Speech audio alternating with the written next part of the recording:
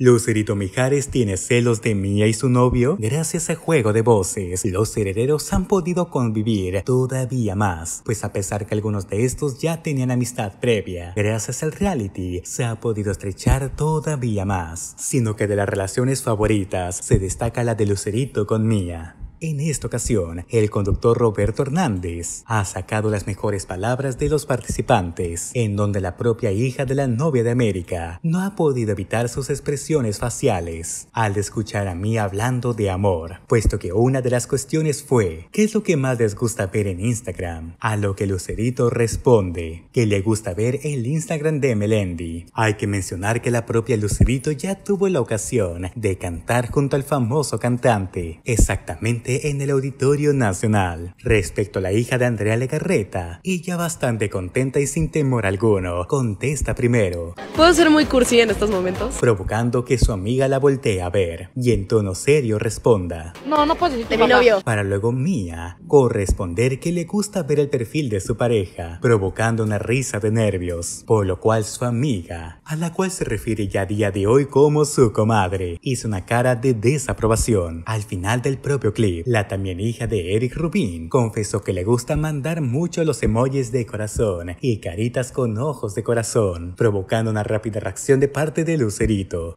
ah. haciendo unos gestos que parecía que no le gustó para nada la respuesta de su gran comadre, siendo que en comentarios toda clase de reacción de los fans se destacó. Ay Lucerito, es que Melendi, ¿y por qué no sale con Eduardo Capetillo Jr.? Las caras de Lucero cuando Mía contesta, Capetillo atrás de Lucerito Iba mi ship. Lucerito, eres hermosa. Lalo diciéndole al oído. ¿Alguien más vio que Mía no deja de tocar la chaqueta de Lucerito? La Mía, por más que quería robar cámara, la cortaban. Ja ja ja ja. Mencionaban algunos de los fans.